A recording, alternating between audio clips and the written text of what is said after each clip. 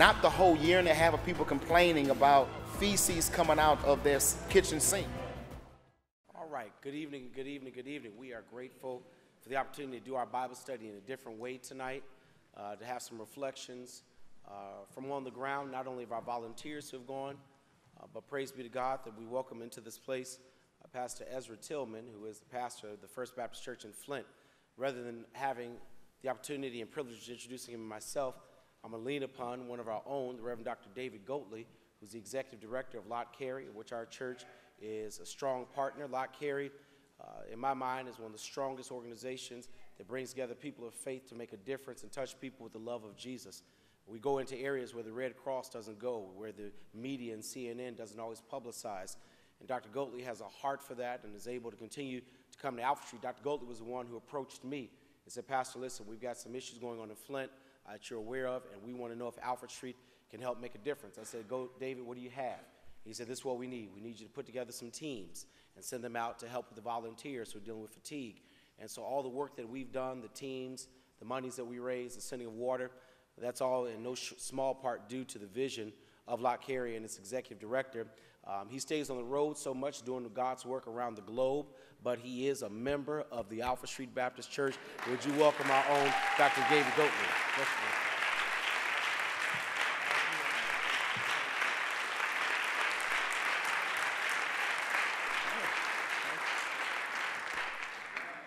Thank you so much. Thank you, Pastor Wesley, for uh, your kind words.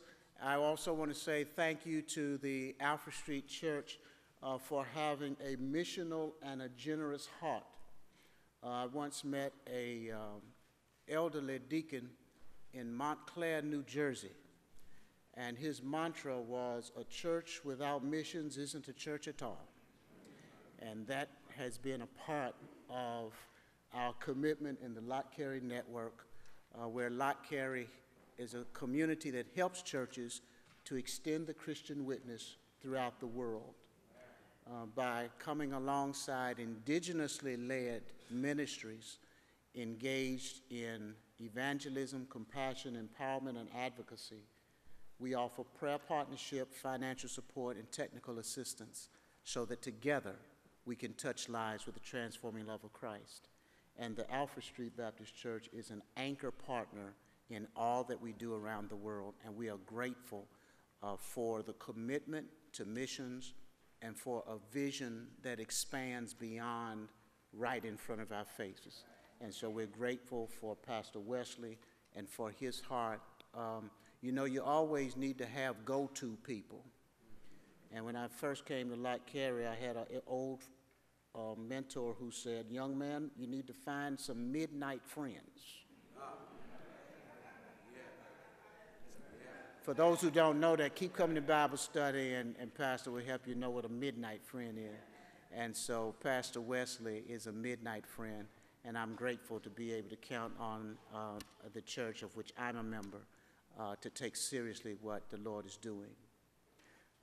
The Lord helps to bring you into contact with people in peculiar and unexpected ways. Sometimes you're looking left and the Lord brings somebody up on the right. And so when the Flint crisis continued to emerge, uh, we started talking to people in our network, uh, and someone said, Oh, I know a young man who you can count on. And so we were able to connect with Pastor Ezra Tillman of the First Trinity Missionary Baptist Church in Flint. And his response was, How can I help? And that's the kind of spirit that you can get things done for the Lord. When your primary question is not, What can I get?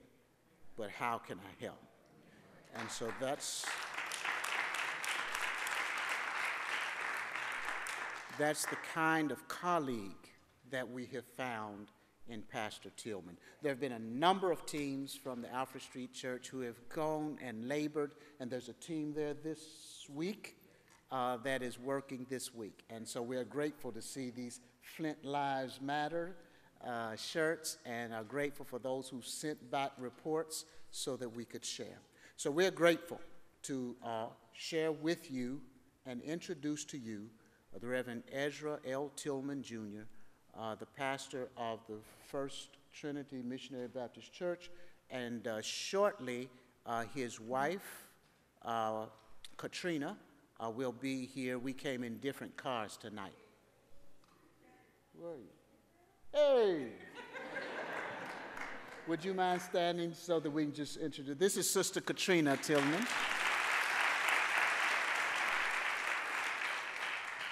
Sister Tillman's uh, social uh, media and marketing background was an important tool to help get the message out about what was going on in, Twin, in um, Flint. And so they are working together and they have very complementary skills. And so we're grateful that they've been able to be here with us. Uh, on yesterday, we had a couple of events to raise money for missions. They've, we've been working today. Uh, we're going to try to help them enjoy something of the Cherry Blossom Festival stuff on tomorrow. Uh, and then going to work them really hard Thursday before we put them on a plane. So we are grateful for their presence. Won't you join me in, in a warm, now is he coming now? Is there something? Okay. There's going to be a video, and then following the video, let's give a warm Alfred Street welcome to Pastor Ezra Tillman. Thank you, Brother Pastor. Thank you for welcoming our guest tonight.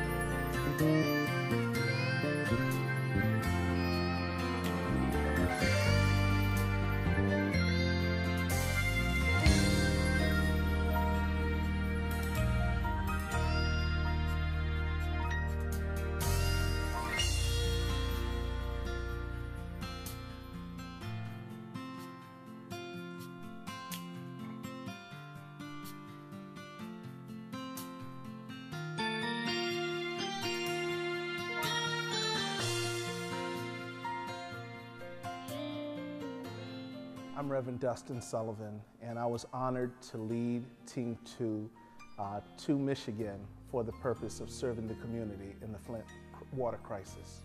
The enthusiasm allowed us to do more than what was expected or required. The enthusiasm allowed us to tunnel through the obstacles of inclement weather. There were 10 inches of snow that fell on the ground on our second day and that snow did not delay, it did not deter, it did not, um, it did not cancel out the mission. This team was put together by God uh, because we all had different talents, different personality. But as a team, we all worked together as, as, as one. I was just happy to be a part of something that I knew was deeper than giving money and just giving, you know, donating waters and donating whatever supplies we have. I wanted to actually be on the ground, you know, foot in the mud, uh, helping. I was moved to volunteer for the trip to go to Flint because when I initially uh, heard about the Flint water crisis, it just seemed like a situation where uh, sending water and sending money really didn't feel adequate for this particular situation. When the call was put out for this, I just felt deep down that it was something that I needed to participate in. Um, it gave me a chance to get up off the pews and get out into the community and to give back to those that were less fortunate than myself. My community expands beyond that, and I, I would not be a useful tool in God's work if I didn't look at a community outside of my own. My community expands to Flint, and that's what I was called to do. That was where that stir was. I, this was bigger than me. This was something that was for others in, in, a greater need. There, I still was ill-equipped to deal with the realities of the situation. I didn't expect for it to be so multi-layered. I didn't expect it to be what it was. Knowing that the water was contaminated, or having an inkling of this water being unsafe and continuing to let people live off of it, let people eat with this water, cook with this water, clean with this water, bathe with this water, drink this water. Any consumption of this water or any use of this water is really a, a poison. I mean, seeing the vehicles, if the, if the car plants move from the water rusting cars, would you really tell somebody to put that on their bodies? This is an issue that supersedes race. This is an issue that supersedes um, position and economic empowerment. This is a complicated issue, and what the pastor, uh, when he thought about the bottom line as to how a city entered into this crisis, the issue of voting and voter empowerment uh, was at the helm of it. And I believe that continuing conversations along these lines will be helpful in not only addressing the water, but in addressing the city. There's a lot of mis miscommunication and a lot of misunderstanding. When you read the story in the news, when you listen to it on CNN, you know, any news source from a distance, it sounds like there's this sort of collective, unified opinion about how the people feel and what the approach should be. Then, when you go door to door and you actually distribute the water to these people, or you ask them, how do you sort of get by living in this condition? You can talk to five different people and get five different answers. There was one woman who even went so far as to say she was mixing the water. And so when you hear that, then you realize these people aren't aren't informed. They're receiving um, information from different sources. It's conflicting and it's not fair because their trust has has been broken and they don't really know what to do. And that was something that really stayed with me, that made me upset when I was there. Um, because if you have this vulnerable group of people, the first thing you should be doing is make sure they, making sure they have the right information, and that clearly wasn't the case. What's not getting heard in the media um, is the issue of some of the physical, some of the emotional, some of the neurological things that are going to come up, the issues that are going to come up with people's health. Riding through Flint, I seen disaster. I seen hopelessness. I seen maybe one standing house in full structure per block of five to six houses. Everybody, every every other house was wooden or boarded up, uh, knocked over, unsafe to live in. The fact that we are passing out bottles of water for a catastrophe of this magnitude is an inappropriate solution. It is a first step, but it is not a lasting step. And so I think very quickly those that want to be a part of the solution need to come to the table to start to figure out how we can do more than just put a band-aid on a gaping hole. Awful situation. The situation itself is criminal for the fact that the water was changed over and it impacts such a specific area within Flint itself. Nine wards, one, maybe two wards affected by this water crisis. On the news, they tell you, no, 95% of the water in Flint is clean. And we're like, how? And then you realize that there are nine wards in Flint, but the water is poisoned in one and a half or two wards of it.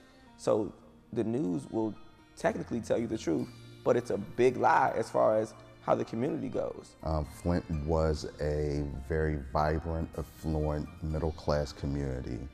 Um, and now when you look at it, it is a city that is in despair. It is a city that is in the midst of a great transition.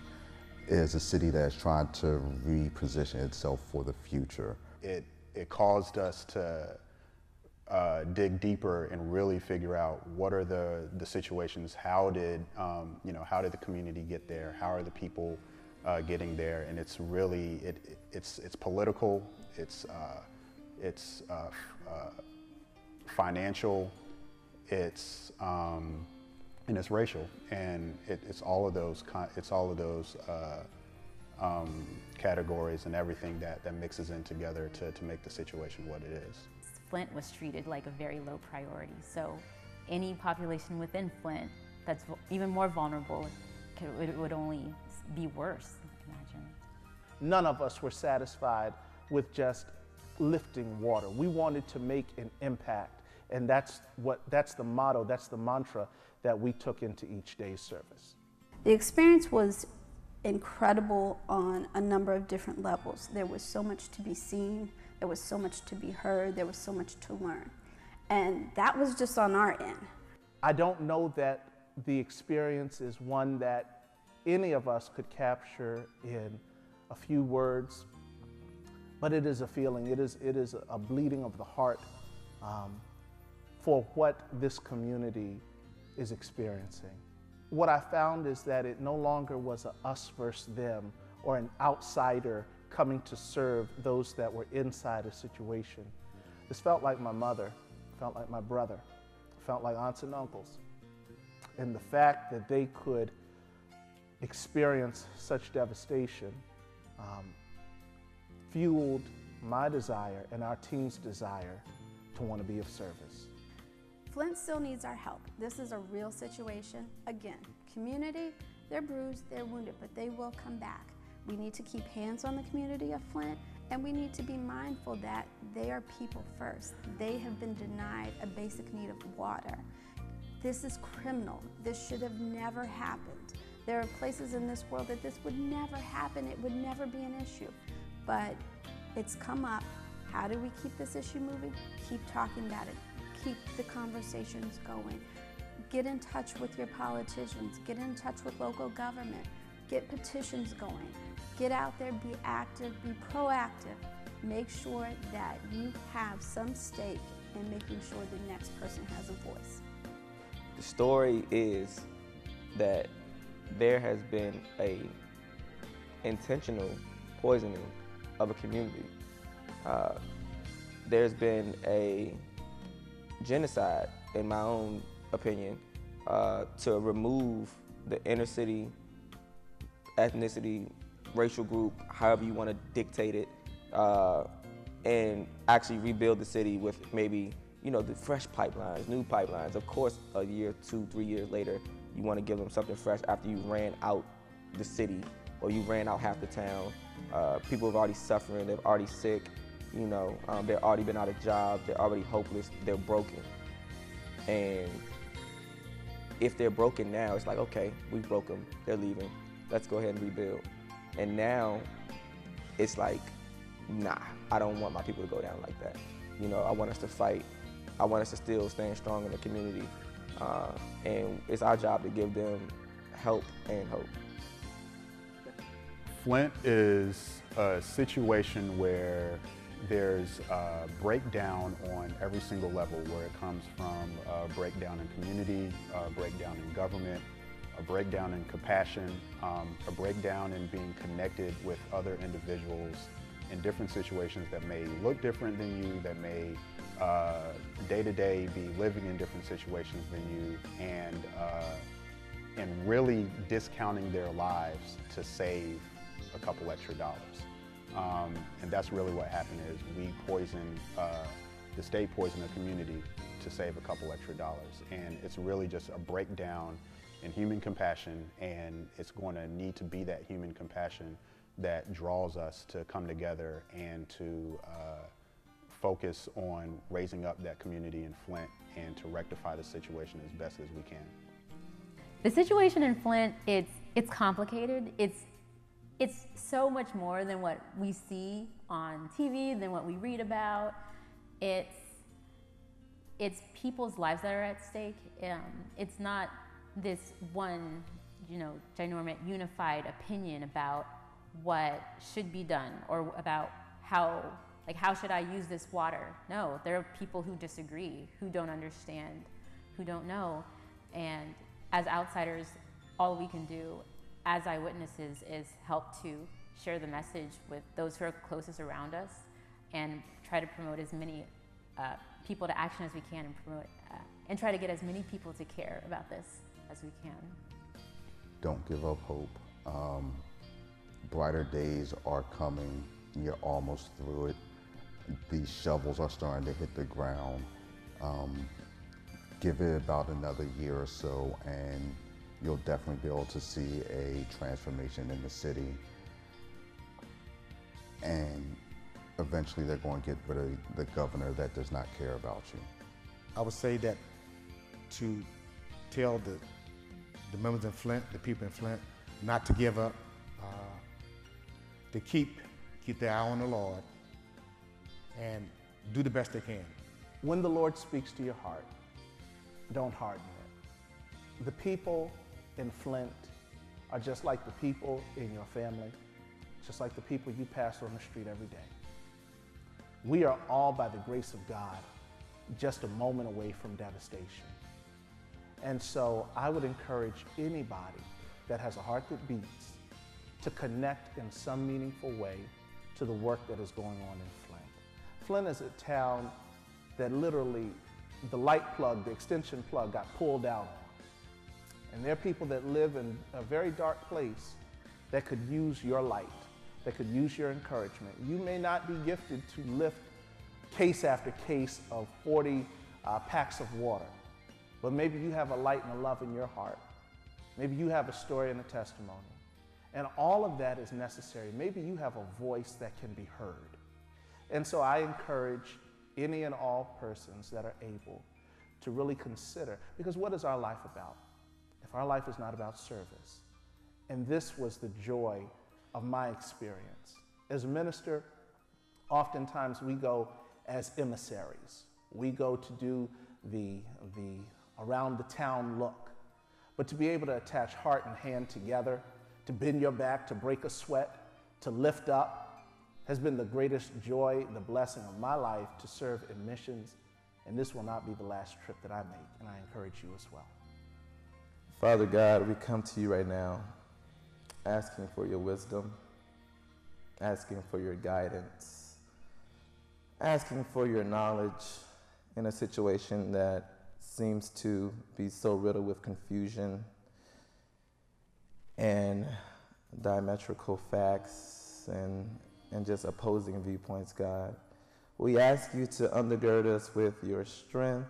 We ask you to, to just equip us in, in your way because, God, without you, we cannot, we cannot accomplish the goal that you have set for us, God.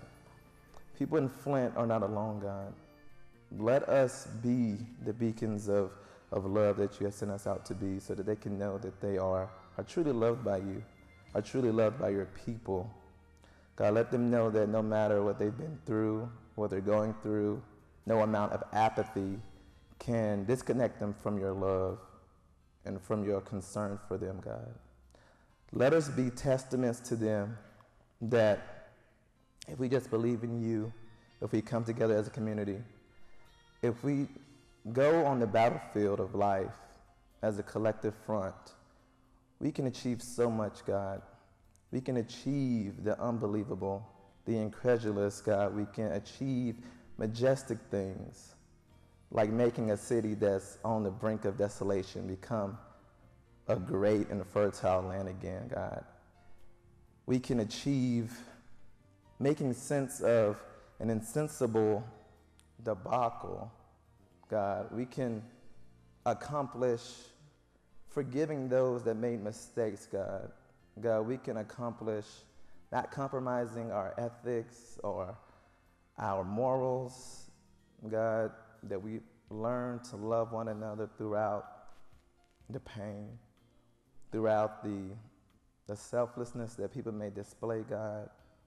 We pray that through it all, we can know that we are one body in you, and that no amount of tainted water or conspiracy or, or greed can, can change that. In Jesus' name, we pray for your direction and for a better day.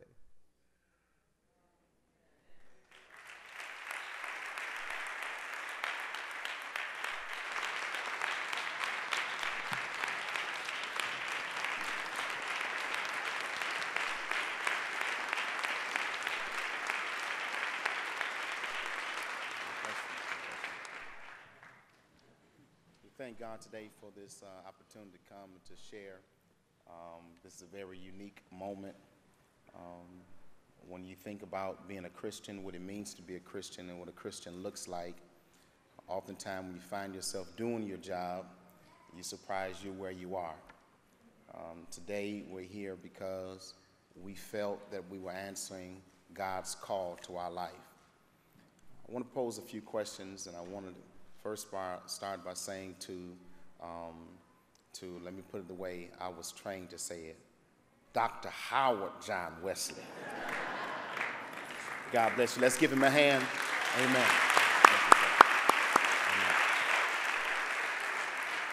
Um, to Alfred Street, I love you and I have never met you.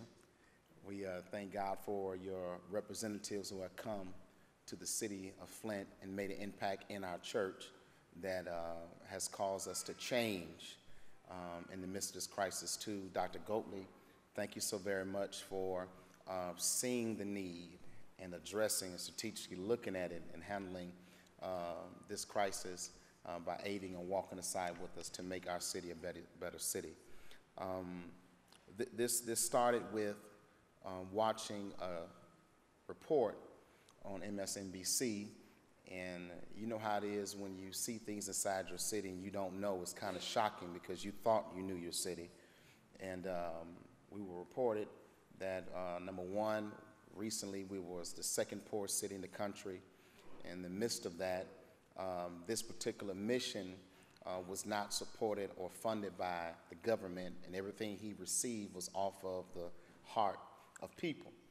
And he was crushed by it. And on the report, he was sharing, uh, even around other churches and prominent churches in our city, they did not touch his particular mission to help him aid in the midst of the crisis. And I was sitting there saying, Well, I got this um, historical church downtown, and we're doing well, and things are going fine, and um, we don't do much as pertains to community um, affiliations or connections with social people or activists that work on the street beat, but at least we could go and purchase water and support someone who's doing the work. In the midst of doing that, we went and purchased water and transferred the water over to this particular mission for him to do the work uh, not knowing it was the beginning uh, of this particular movement. From leaving that place, going back to the church, that same day, about time we got back to the church, MSNBC, uh, Washington Post, uh, NBC had called the church for interviews and quotes and statements because the word went out, First Trinity, first to respond. And so from that point to this point, we're where we are because we answered God's call. But as I try to transfer this message to people who you believe already have the same mindset you have about helping people and caring for people, you have to ask these questions uh, and really look inwardly and think about are you a good Christian? Yeah. Do you think if God was to speak to you, you'll say, Lord, send me, I'll go? Do you really believe that, that whatever part you play in the puzzle will make a difference. Because as you try to speak to uh, the millennial age, it's hard to convince people um, that their part really will make a difference when they see so much corruption, so much uh, defilement go on, and open sites, such as being here today, pleading and trying to give voice to those who are hurting in our city because there's a governor that is not fearing losing his job at all. Doesn't matter how much research and how much investigation that takes place and how many emails are exposed of him being made aware of it, um, he's still comfortable as being the governor. And he feels no threat at all that he'll be recalled or removed. So when you see stuff like that, usually for people of our generation, we figure it's a waste of time uh, to spend engaging in something that's already fixed. But in the midst of all that, um, with this partnership with Lott and coming to the city of Flint, this one local church has transformed people's thoughts and views about the church. Uh, because of this partnership between uh, First Trinity and Alfred Street, there's an enterprise running from one church. It's not being supported by any government officials, it's not being um, funded or being supported through Red Cross or United Way. Well, they wanted to get involved or support afterwards when they seen it was a great response to churches helping out a church. do Jesus work. Right. Amen. So, so I want to voice that much as possible because, you know, with the pol- political things, it gets ugly, and I've committed myself. I'm going to be a preacher and a good gospel preacher, and I don't want to deal with politics, but you can't be a good preacher unless you know politics. Amen. I've learned it the hard way. So I've learned now the importance of coming and working and navigating to, to, to do our best as a voice, as, as a Christian, to make things better. And so I, I wanted to share uh, that with you because as the days unfold, it, it, doesn't look like the gap is closing. It doesn't look like, um, with the press showing and with all of the questioning and all of the allegations that's being put up on the screens, are making uh, the government, the state, move any quicker to respond because, truth of the matter is, the money is already there.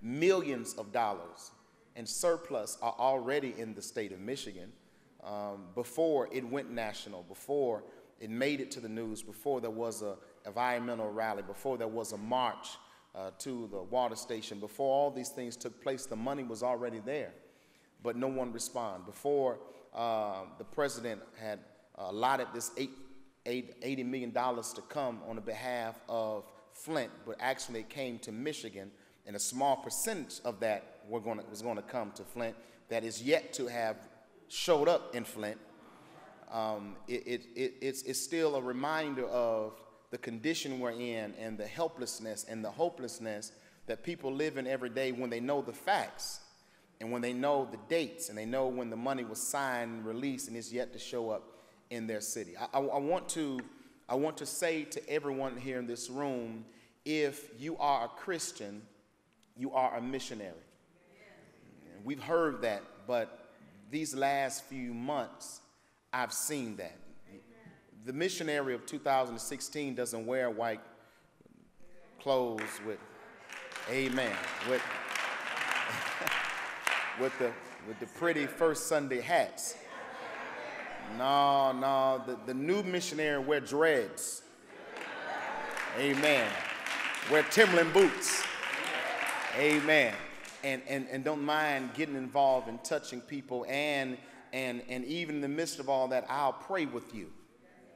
And so Flint has been blessed because of the stock of this church that have come through the doors of First Trinity that allowed us to touch people who are on the verge of giving up and want to give up, but because of a smile, because of the spirit, because of the attitude of the people that have shown up day after day after waking up early in the morning and working all day long, showing up the next day ready to go all over again. People who come in contact with them, lives have been changed. And I want to uh, ask God that He will touch your heart today, that you will have that same spirit and mindset to know that you're coming to labor, but you're also coming to deposit in people who need to be loved, right, right. who need to be recognized, looked at, um, seen, felt, prayed for, encouraged, because they're people. They're our people. They're from Georgia, Alabama, Mississippi. They're people that we know. There's some Johnsons, some Greens, some Smiths that lives in Flint, and they're cousins and third and fourth cousins down the line, and they are just like us. It could be us today, uh, and it can be you tomorrow if there's a person that sits behind the desk that makes a decision without you knowing it that will leave your life uh, in a moment of being destroyed without you knowing it, he decides to do it anyway, you will be a victim of circumstance. Right, right. So, so that's what we live at today. That, that's where we reside today. And I want to give you a few facts so you know how this came about. And I, I don't know how much time I have, but I don't want to be long, but I want to be uh, as formative as possible because sometimes you start talking, you don't get to the points. Uh, the, the point is that uh, Mr. Earley, who was called to Capitol Hill first, is not the blame. No, he was the fall guy. Uh, he was the person who was a chummy or a friend or buddy that was getting paid, that was a friend to government, but he went up first because it seems like it was his fault. But truth of the matter is, it goes back to 2013 with the first emergency manager who came into town. It was through his leadership that plans were made to stop the water from Flint to Detroit and start a pipeline from, from Flint to Port Huron. In doing so, wherever the plans were and connections were in doing so, it seemed like it was a good idea but the water was supposed to continue to be connected to Detroit until the pipeline was finished going to Port Huron. In the midst of all of that, someone proposed let's switch the water immediately over to Flint and save the money that we're spending for the water going to Detroit because the true underlying story is that Flint was the biggest purchaser of money from Detroit that is a predominantly black city that is controlled by the water, that controls the water, which all of the surrounding cities want to get control of. So now you have these black people that have this kind of power and resource, and one of the best in the world. How can we get it? So the decode was to get to Flint, then we'll get Detroit. So in the midst of that, switching the water over to Flint water, anyone who lives in Flint knows since the 40s that water is polluted but it was $15 million that was needed to filtrate that water for it to be uh, healthy to be used. Uh, in between that decision being made, it was switched over. Only $1 million was spent on switching the water over. The pipeline to Port Huron is still in process as we speak. In the midst of all that being done, brown water shows up. The water you see on the screen is what took place in 14. And that water was smelly, people washed their clothes in it. It stained their clothes. They had to go down to City Hall and be reimbursed for the clothes being messed up. They complained about it. They took it down, and, and people told them, oh, the water's all right. Many people on, on the uh, city council board drunk the water to prove to the people in front of the camera the water's all right. So people do like many of our friends do. We believe what they say. You heard people say that you know what they say. And so they took the advice of those who sold out their city for their position and for their, their, their place. And people believed the story, and people who didn't believe the story continued to still use the water because many of, uh, of us who have come from the ghetto, or come from the hard side of town, or have come from um, a rough area, we know how to make it and we have accepted, accepted the realities of our existence, and we just learn to deal with it and move on. And so, with that mindset and pushing things into the closet and pushing things behind us, we go on anyhow. And so, in the midst of all of that, no one thought about the elderly. No one thought about the children. We just bathed in it. We still kept cooking in it. And then over time, uh, a doctor flagged the point that these children, they're not acting right. And their, their, their blood level is, is detecting that something strange in the makeup.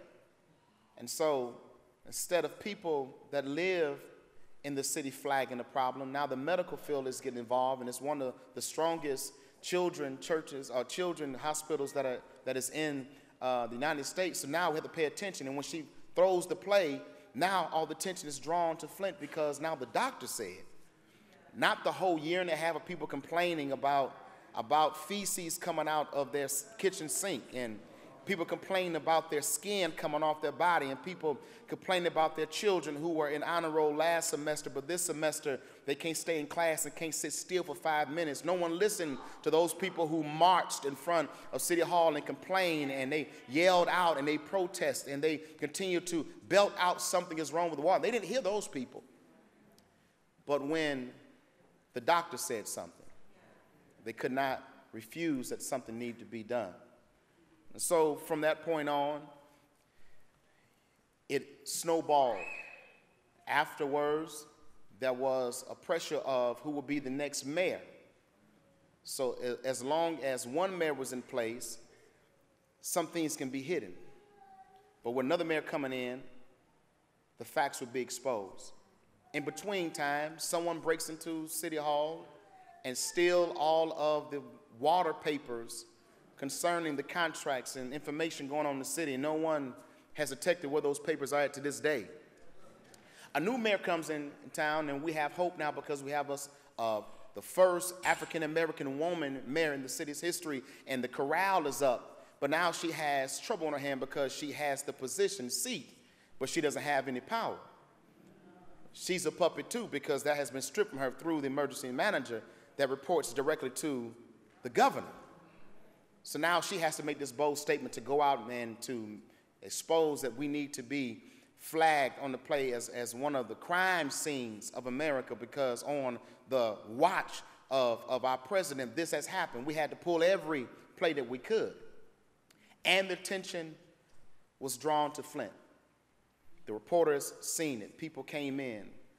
Um, chemists validated that the lead is the problem because the old water, the Flint water, stripped all of the uh, treatment that took place in the pipes over time away, so all of the pipes were rusting rapidly. And so now the clean water comes through, but it's poison. You can see dirty water and know that it's poison, but you can't detect in clean water that it's poison. And so now, here we are. Who's going to help Flint? The, um, the church responded The church of Jesus Christ responded to someone saying, I have to do something. So, what needs to happen now, what you want to do to help, to aid, to continue to move forward, is to keep in mind um, people that shout about how many bottles of water they sent to the city makes them feel good. But how many bottles of water does it take per day for a bath? Amen. We take for granted. I have a complex now. I can't leave the shower running and walk up in the room and not think about someone can't do that. Leaving the sink running when I brush my teeth, and I think about people can't go to their sink and brush their teeth. They brush their teeth out of bottles, cook their food out of bottles, wash their clothes out of bottles. Everything that we take for granted every single day. Children are walking around with plugs of hair out their head. Little girls, bald to the skull because of the effects of the water. People going to the salon believing they're getting pretty for the weekend. Hair thinning and breaking away. They don't know why because of the water. What we can do is, is try to lighten the load. Our, our concept is second phase, and we're asking for people to purchase gallon water so we can continue to convince people don't use the water. But when people get frustrated, when people get agitated, they, they reason back to the dysfunction. And they say, instead of me taking this long hot shower, which is another flag on the play, because when the water is hot, that makes the lead levels higher to be exposed to your skin. But they don't tell you that. They tell you boil the water, so you're really killing yourself faster when you boil the water because you get mixed messages. So people who live in the city don't trust nobody. Anything that says glove.com, they don't believe it because always mixed messages in between. What can we do? We can try our best to make sure we lighten the load. It's a temporal situation. It's something that we can do immediately. Buy a gallon water. Buy five gallon water. Let's make it easy for people to take a bath. Amen. Let's make it easy for people to reserve the water from open, opening bottle at the bottle. And let's, let's buy hand sanitizer and baby wipes and to buy Clorox wipes for sanitary reasons, for hygiene reasons, to lighten the load of people who have to deal with the reality. This is how they have to live every single day. Now, I don't know about you, but I got people who live in the South. And in the South, they, they find ways to, amen, to make it. Amen. So, so believe me, your little bit helps. Amen. When you buy these certain things, that you purchase type of things to lighten the load, uh, what you can do is pray because behind anything we do, it should be filtrated through the power of Jesus Christ. So, so when you you would get tired and you would get burned out when you're trying to do something your own, you're doing something to make yourself feel that you're being spiritual and you you're you're doing your part. But when you are doing the work of God through His power, you come back after you have slain, as I would say, uh, case after case, and you come back reporting, and we moved, uh, I don't know, 17,000 uh, cases of water, and you come back saying, the joy I felt when I was bending my back and sweating, the, the feeling and, and the, the joy we had in serving and working when you do it through the power of God. Now, to everybody, don't touch you because many of us have not really done missionary work. And to us, it don't, it don't touch us because going to church and getting our shout on and getting our praise on and, and doing our part in church makes us feel good. But the service part of Christ is what made him an enemy to the state. Amen.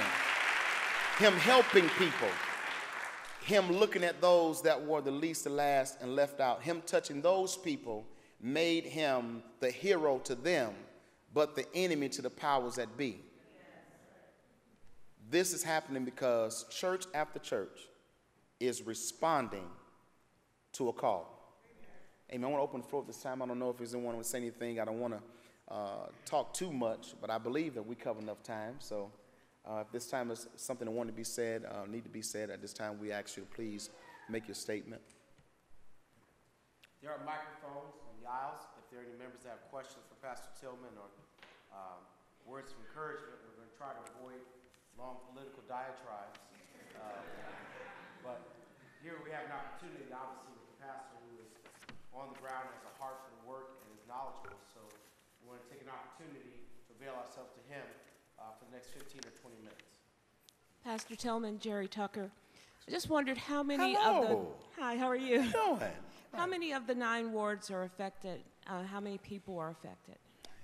That, that's part of the frustration of detecting uh, where the poison is because you can't trust nobody.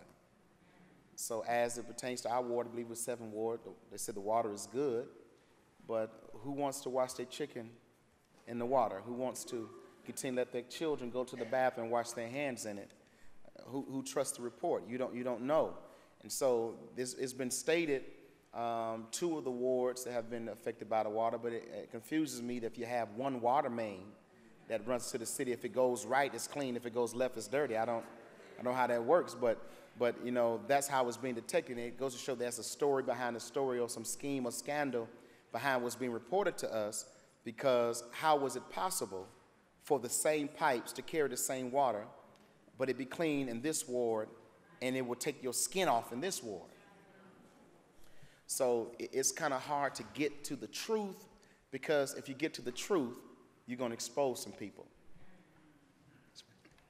Pastor Sylvan. Um, sorry.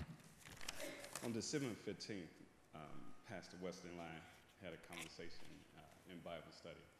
And um, we talked about social justice. And uh, inside of that conversation, I was speaking with Pastor Wesley about uh, the conditions, not specifically, but indirectly. We were talking about the conditions of the criminalization of the black male to neutralize the power, the political power that we hold when we have voting rights.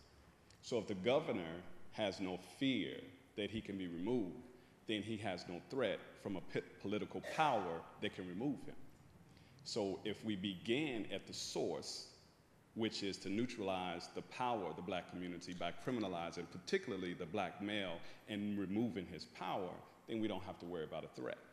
So speak to uh, the, the, the amount of, if you know, uh, I've done a little research, but if you know, speak to the, the conditions of incarceration as it relates to Flint, Michigan, and the population of African American males who are actually incarcerated and can't vote. Very good question. Um, I definitely believe that is um, a worldwide focus to, um, my personal opinion, to emasculate a male anyway, concerning any le- type of leadership or, or in, in the world. Um, but I would say this for what I know. Most of the people who come to our church to get water, they know where we are because they know where the jail is. Yeah, that church up from the jail. Um, the crime in the city uh, has been um, reported several times as being high, uh, at times the murder capital. Um, so um, the, the crime in the streets and the uh, living conditions are um, very similar to any other inner city, but because of the smaller amount of people, we're under about 95,000 people at this time and counting um, for those who are leaving day by day that can't afford to leave. Um, but uh, in, the, in the midst of that, um, there's not a threat because there's not much leadership even given to males, period, to even learn about their political rights and their privilege uh, to make a difference. And so that on all levels of our city personally, uh, th- there's a lack of leadership. And really today, I wanted to make sure that I, I kind of push that point, period, just to this church alone, is because between the church that's present there and the church that comes in week after week, you're mobilizing a whole city between two local churches. um, the social vo- voice in our city is, is uh, close to none. There, there's no one really that is unified together to kind of bring forth an answer or to galvanize. It is a lot of leaders who are hollering for their own recognition to be acknowledged that I'm doing something, I want to get something done. So there's no coalitions being done to really move anything. I, and I hope I'm giving you a, a, just a picture of it because I just got there in uh, May of 14. So much of the dynamics of the city I'm learning myself because I'm still trying to learn how to get to the Burger King. but I am aware, I am aware of the conditions we're in because we don't have that type of leadership. And there's some people that, that's really there, but they don't get the stage, they don't get the microphone, they don't get the programs, they don't get the grants to try to make a difference, to kind of, kind of turn that community around for people to know the value of themselves. You don't have, you know, uh, Boy Scouts no more. You don't have any type of program to really invest in children. So everyone is running rapid. And so the rate of incarceration is very high. And the few people in our city are, are so depressed they're killing themselves. It's one of the first things I experienced when I got there. A young black male went uh, to Memorial Day. He was in the yard talking like that and went in the closet and hung himself. Couldn't find a job, just hopeless, just just out his mind. And many, many males in this room, you know that's a defining point in your life when you can't be a man because you don't you, you can't define through work and through a purpose of who you are. That's a very confusing stage. So when you have wiped out a whole city, this is the first city that brought African Americans into a middle class as a norm. And now, this particular city that provided all these particular people with this type of lifestyle now strip it from them and only leave one factory there to say that's what we started at for the purpose of a museum, and everyone else have to suffer because people grew up saying, I'm just gonna go to the plant when I get old. I'm gonna go make my living in the plant. So now those people that never uh, finished school, never picked up trades, never had any goals to go and do anything with their life, and now the plant is gone, they don't know what to do. So hopefully after after the night I can give you a better answer, but I want to at least try to give you what came to my mind at the time. Is there an option for a class action lawsuit for this type of a situation, or is it is the government um, immune to that?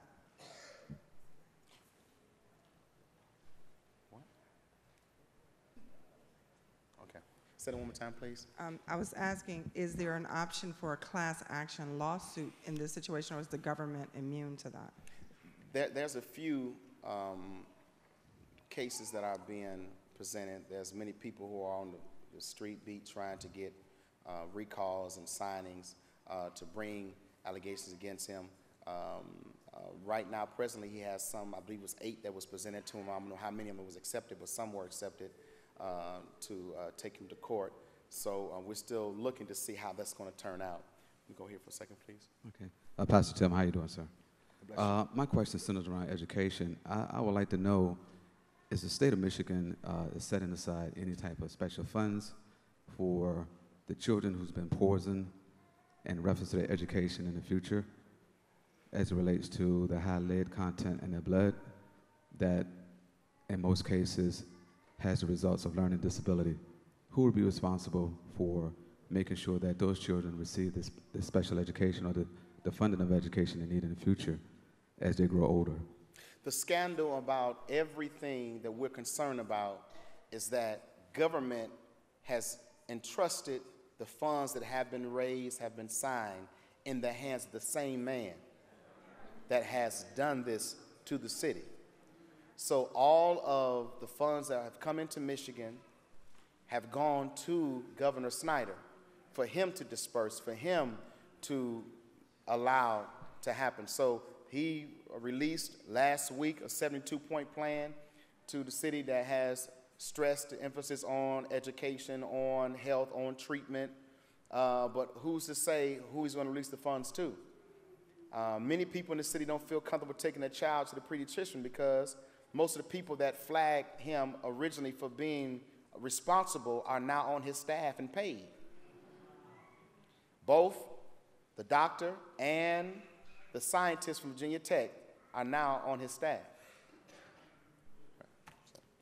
I had a question about the $80 million you were talking about that was that President Obama gave for this issue. What kind of fight is going on to get those funds to where they're supposed to be? Is something happening here in D.C.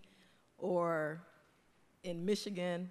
I'm, I'm, I'm sure that the president is outraged that it's not getting to what it was appropriated for. I'm, I'm not exactly sure that there's um, much talk going between our Senate, um, our senators, and those who are over our county and area that are in, always in constant conversation with people here uh, in Washington that knows I'm guilty. I try to stick with the preaching part, but uh, I'm, I'm, being uh, baptized by this day by day to learn more of these points because you want to make sure you give accurate answers. But when you get um, at least a foot in, you find out there's some other things that's blocking information really getting to you. Um, in, in, the midst of all that, we're hopeful that soon that there'll be some type of resolve that will take place uh, with, with those problems. Hi, I am from Michigan with a lot of family in Flint, and I kind of wanted to piggyback on why they can't believe in the government there. I remember when my aunt's water first started coming out brown and yellow, and she was telling the family, and so I was like, Aunt, did you call the water company? And she was like, mm, no. I said, well, I'm going to call them for you. You can't be drinking dirty water. And you know what they told me? They said that they had a water main break. That was before all the news came out. So just to show why they can't trust in the government, and I'm definitely familiar with the Evergreen Regency that you showed up there. Yes. Yeah. Now, now, now, now, in the midst of that, you know, it's always partial truth. There was a water main break I believe, on the north end, but the water was bad before the break. yes, ma'am.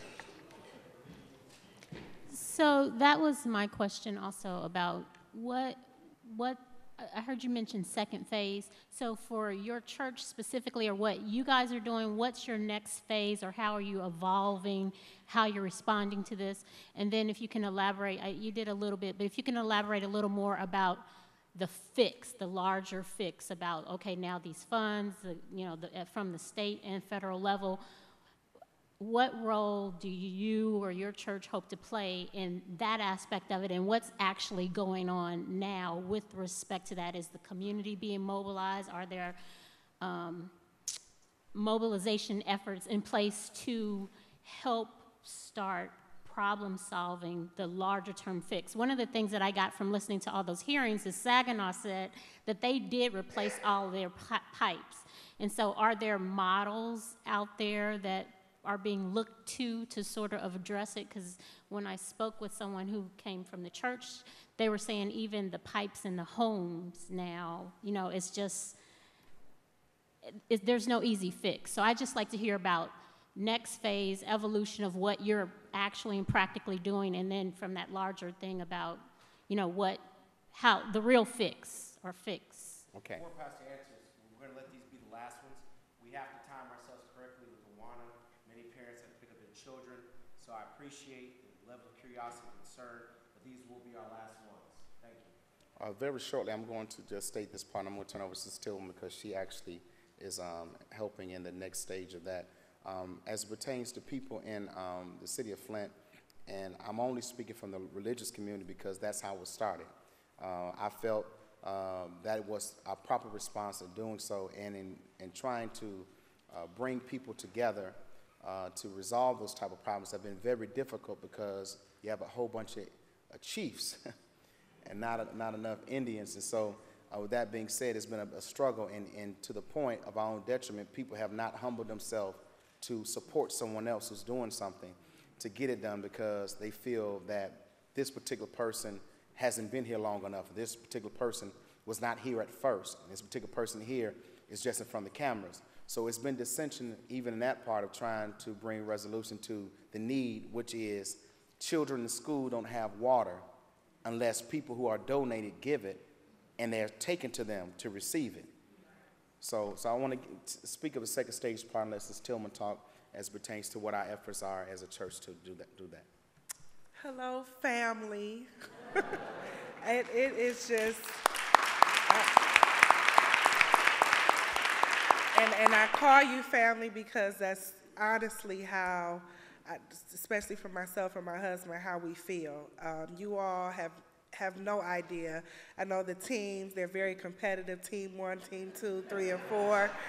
Um, they, they, they can speak to some of the things that are happening on the ground, but um, you all have just blessed us and blessed the city in a way that you really can't imagine. But quickly, I want to piggyback to uh, the sister that asked a question about the government funding in regards to uh, President Obama. We have to keep in mind that this was a man-made disaster. So from the president's standpoint, he did what he could do. He cannot give us um, funds as if this was a, a, a disaster such as a Hurricane Katrina because this was man-made. So him releasing the, the 80 million that he did, that really was a, a thank you present because he didn't have to do that. Um, and so the funds that he uh, released to uh, the governor um, was really for the state of Michigan, not for the city of Flint. So the city of Flint is not the recipient of those funds. The governor has the right to say, those funds can go to Flint, but to this day, he has yet to do that. Um, so to the sister who spoke about the um, second phase, some of the things we're doing, um, one of the things that we're really extremely excited about is um, we're in the process of opening up a community health center which will be called the Revive Community Health Center. It's a building that, uh, that's right next door to the church. I know some of the teams you all were helping. Uh, we had we were using that as a storage as well in terms of putting a lot of the cased water there. So we're in the process. It's going to be a, a FQHC, a federally qualified health community center. That's something that we're doing as a church uh, to kind of be part of the solution. Um, there has been talks of um, funding for early childhood education. Many of the uh, many people who watched the uh, Rachel Maddow town hall meeting that we actually was a part of um, learned that the city of Flint, the school district, only has one nurse mm. for the entire school district. In addition to that, the city of Flint does not have any grocery stores. So now you talk about health and the lack of nutrition within a city that in some ways are already defeated. This, a lot of the whistleblowing started when General Motors themselves came out and stated that the water was corroding their parts to their engine. So if it's doing that to steel, you can imagine what it's doing to the human body. So um, some of the things that we're doing, uh, we, we have launched our phase two initiative, which Pastor Tillman spoke about um, which is the hand sanitizer, baby wipes, and Clorox wipes in addition to the gallon water. Um, five and five gallon water. The hand sanitizer that offsets them using a bottle water to wash their hands. Um, so we're just trying to think of small, creative, inexpensive ways that we can kind of offset the, the, the psychology of using bottled water. And, and I, I spoke um, to some of the team members just in regards to the psychological aspect of this is is is it, it, honestly it gives me tears and chills because um, it's something that that we're going to have to deal with years to come. I mean, I, I went to they had the Steve Harvey show, um, invited us down, um, speak, specifically speaking to Flint, and one of the members that I went with, um, we stayed in a hotel and she literally was crying because she was able to take a clean shower. When we went to the restaurant, as a waitress normally does, which brings you a glass of water, she told the waitress, no, thank you. And I had to remind her, we're in a different state, baby. It's okay. You can drink the water here. So the psychological aspect that this man has done to a city of our brothers and sisters is, is very disheartening. Um, so we're, we're, hoping to definitely do more in terms of the early childhood education within our community health center. Um, I know a lot of the schools are starting to talk about um, different programs that they can do during the summertime um, to kind of help offset. But the truth of the matter is, no one knows what this is going to look like within our children in the years to come. You know, there's, as Pastor said, there's children who were on honor roll just last semester and now this semester they're getting sent home because they can't sit still. Violent. Violent. um, constantly having nosebleeds. Um, so we, it's, it's, it's not like you can say, well, if you see tremors, then you know that was the lead. We don't know what that is, you know. So um, we're, uh, you know, this is just a, it's a very disheartening uh, situation. But you know, we know that, that we serve a God. Um, any other questions? I don't know who's next. So I did have a question or something to say. I know at the federal level, not necessarily President Obama, but there was a $250 million initiative by your state senators, um, Senator Stabenow, um, to have emergency aid to Flint, and that was blocked by a senator from Utah. Mhm. So somebody who has no connection to Right. Michigan. And that's politics, and I understand that. But I would encourage you just to flex your political voice. I know you're still learning it, but while you're here on Capitol Hill, you know, with your own people, it's possible to have a fly-in day where you have people from your church come and speak to your senators or your representatives. So I'm a lobbyist, and they don't want to hear from me, but I can guarantee you that General Motors has a lobbyist who's arguing their case for you, for uh, their case. So you too can go and speak to your your constituent. They want to hear from you. So I'm happy to share any information I can to, you know, just set up. Please make sure that I see you before we leave so that I can get your information. Um, this is new for, I, I'm the one, the CNN buff. I love watching CNN. So that's, that's as far as my political uh, stance go. Um, and because of Rachel Maddow, I've met her personally. She's really been a whistleblower in terms of getting this uh, news out uh, for the city of Flint on a national level. Uh, but this is new for us. So we're open to any um, you know, help that we can get. So please make sure I get your information before we leave. Hi, I wanted to find out how you think we could help from here to put some of that pressure on, um, whether it's on the Hill, on the governor. How can we kind of pitch in to do that? Because we can give water, but there's probably. I believe that it's going to take some um, um, coalition between Flint, as in those who are on the ground, so we can get you the information that we need to get to you, for you here, whoever will comprise in this end, to get to Capitol Hill to state those things the people are trying to say, because that was the whole goal of us continuing to do these rallies in March, so you can give the mic to people who are living in it, not giving the reporter the opportunity to speak on the behalf of us, but letting the people speak themselves. So with that being said, please make sure we make that contact so we know on this end that our presence, our voice is here. And then when we can travel and get here, it'll be a greater presence. Thank you so much.